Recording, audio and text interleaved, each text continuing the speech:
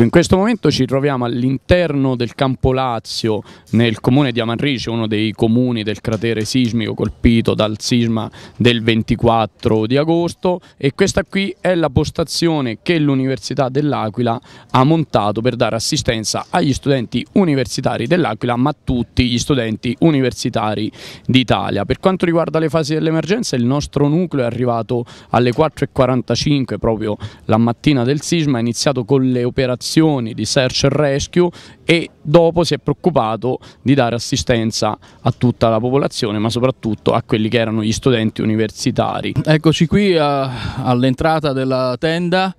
che è diventato il nostro punto di riferimento qui nella zona di Amatrice per i nostri studenti e anche per gli studenti di altre facoltà. Qui all'interno abbiamo messo diverse postazioni computer, quattro postazioni sono a disposizione per gli studenti che si possono collegare e quindi portare avanti tutti i loro problemi sia personali sia di gestione universitaria e, e, poi abbiamo anche i nostri computer per i lavori dei docenti e per tutte le persone che si vogliono appoggiare qui.